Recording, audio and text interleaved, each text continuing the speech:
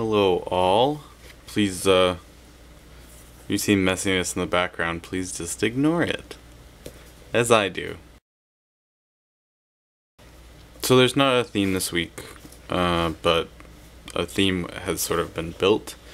Um, Jen and Sophie were talking about kind of romantic relationships. And Jen, I, I hope you're feeling better too. Um, text me. Hope you're feeling better. And Sophie, I hope you ask him out and let us know what happens. If you ever want to bring up a heavy metal band, well, they're more black metal, but you should bring up Emperor because they're pretty good. I had this um, I had this line from a book that I've been reading. It's um, The City and the Pillar. I've read it a lot before, and I just I just love it. So it's uh, and this line has really stuck with me for a very long time. I was really kind of a lonely person. I think being closeted really made me feel very isolated. Um, and then I became very isolated.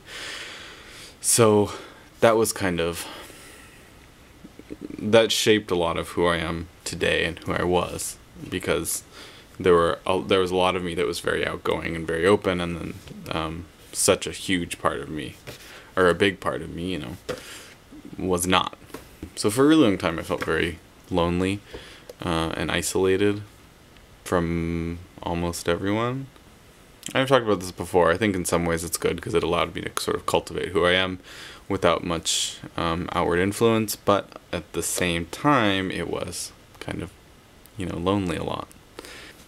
But I was really connected when when there was talk of relationships, I don't know if that's because I just never had them, and so it was very easily I was it was very easy for me to relate to everything that was about relationships at all, or if I you know had some kind of if I have some kind of deeper connection. Anyway, this is a line from the book that I really enjoy, and I don't know how helpful it'll be to anyone, or if you know you can agree with it or completely disagree or what, but sort of something that I've really remembered since I first read this, you know, six or seven years ago. We affect one another quite enough merely by existing. Whenever the stars cross, or is it comets, fragments pass briefly from one orbit to another. On rare occasions, there is total collision, but most often the two simply continue without incident, neither losing more than a particle to the other in passing.